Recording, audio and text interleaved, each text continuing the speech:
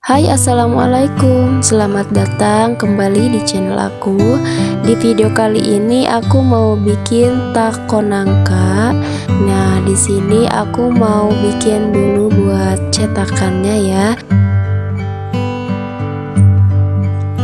Kita gunting sebanyak 5 guntingan Tapi jangan sampai putus ya. Cukup digunting sampai tengahnya aja atau kalau daun pandannya dibalik ini sampai tulangnya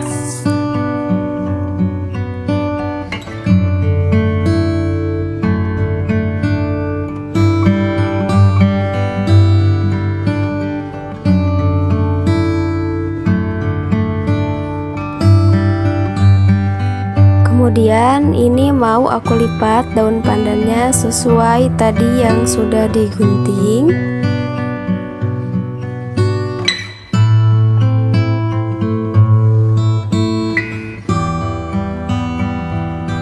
Kemudian bentuk seperti persegi seperti ini atau seperti di dalam video caranya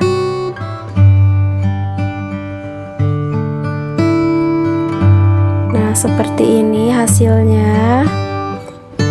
Lalu kita staples pinggirannya supaya tidak e, berantakan. Nah hasilnya jadi seperti ini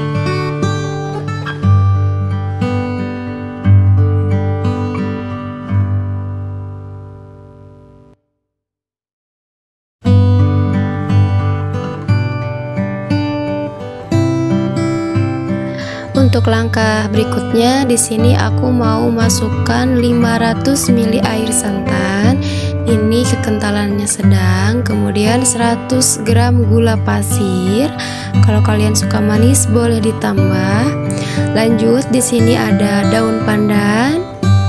Nah, ini ada 50 gram tepung hankwe.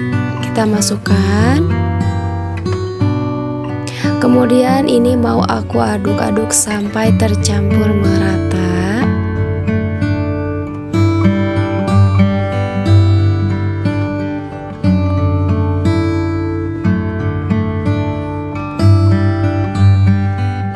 Nah, ini sudah cukup. E, mau aku masak. Nah, ini jangan lupa ya. Tadi aku hampir lupa. Kita beri seperempat sendok teh garam. Aduk kembali. Ini dimasak menggunakan api kecil sampai mendidih atau sampai adonan ini meletup-letup ya. Sambil diaduk karena kalau nggak diaduk nanti adonannya akan cepat gosong. Sudah mengental atau sudah meletup-letup adonannya. Kemudian ini mau aku masukkan nangkanya yang sudah dipotong kecil-kecil. Lanjut, ini kita aduk-aduk kembali, masak sebentar.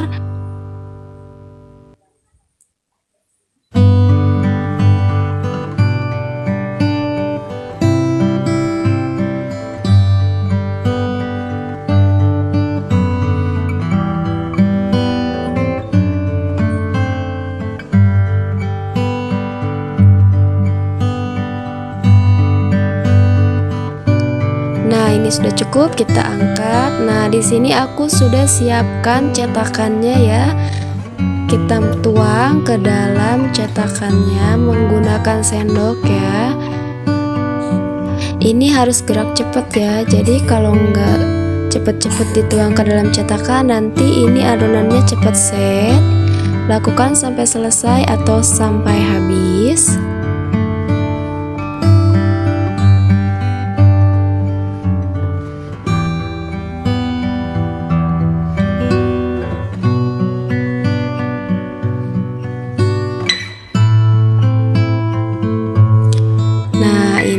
semuanya sudah aku masukkan ke dalam cetakannya.